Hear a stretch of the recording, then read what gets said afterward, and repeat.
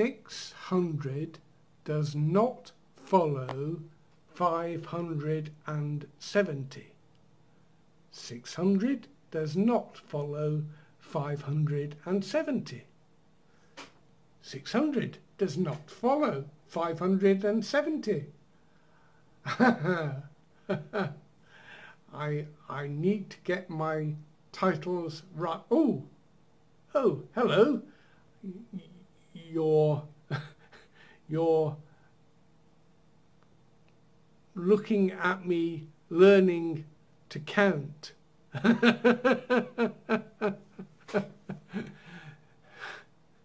Six hundred does not follow five hundred and seventy. I, I, I think I've got it.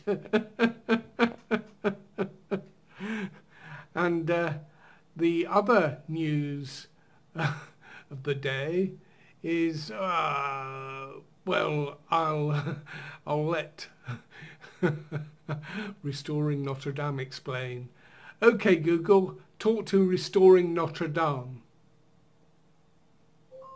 Hiya from Restoring Notre Dame. We have almost daily updates. What do you want to do?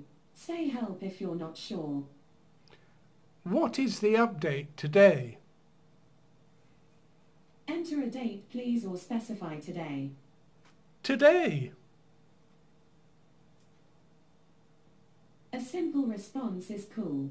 Your given date is the 27th of May 2020. The closest we have is new important eyesight test. It has the date the 26th of May 2020. Read more at restoringnotre-dame.com. Say more for the story or get the update for another date or maybe say you're done. More.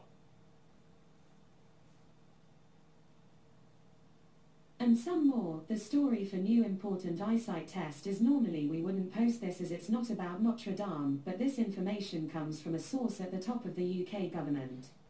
Apparently, if you're worried about your eyesight you can avoid any queue at the opticians but carrying out this test yourself. Just drive for about 30 miles or so and if you don't hit anything your eyesight is okay, probably. To be extra safe put your family in the car too, particularly a young child, four would be an ideal age. Oh and if any of you are suffering from a virus, well we all get that from time to time, don't we? Look, I know the source has been revealed on other outlets so I might as well reveal it here. Dominic Cummings, a special advisor to the UK Prime Minister. Surely he can't be lying. Ah, I mean wrong. Read more at restoringnotre-dame.com.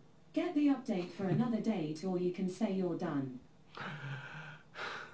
Okay, I'm done. Okay, see what's new on restoringnotre-dame.com tomorrow. Perhaps I will. Until tomorrow then.